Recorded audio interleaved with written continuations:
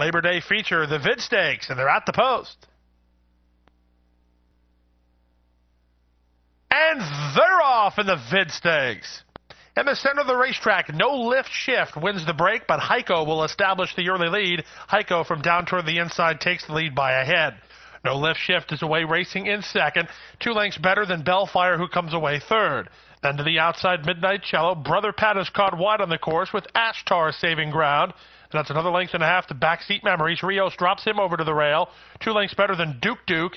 And the trailer is Mucho Mas Macho. The favorite is last and about six and a half lengths off the lead. They're chasing the speed of Heiko, who's relaxed up top. He went through the opening quarter in 24 in 2 and heads into the backstretch a length on top. Racing second, no lift shift. Then it gets a little log jam there. Brother Pat moving up. Alongside Brother Pat is Bellfire, in tight Midnight Cello, Ashtar toward the inside. That's a length to backseat memories. They've established a four length cushion on the trailers who are Duke Duke and Mucho Mas Macho. The favorite is still last after a controlled half mile of 49 and 4. They move past the half mile and swing to the far turn. The leader continues to be Heiko, well rationed by Chamafi, leads it by a length.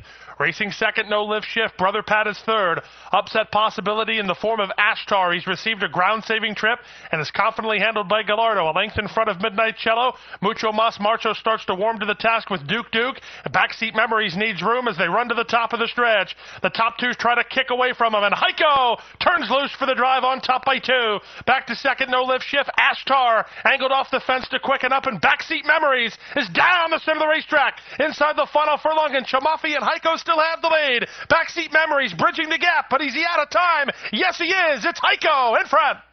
Heiko takes him start to finish to win the Vid Stakes from Backseat Memories second. Ashtar appeared to hold third, close fourth between Midnight Cello and No Lift Shift in 142 and 1.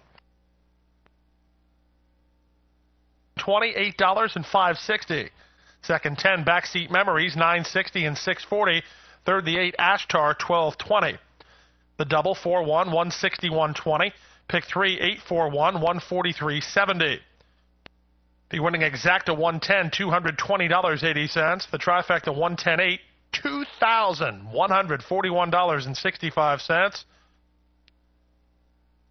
Hold on to your hat for the super. Feature race Superfect is a good one. Combination 110, 8, and 6. $24,950. That's the $1 return. The 10 cent bet returns you $2,495. And ladies and gentlemen, we direct your attention to the winner's circle. And the winner's circle making the winning presentation to the connections of this year's Vid Stakes is Mr. Dennis Porter, the Senior Vice President of Real Estate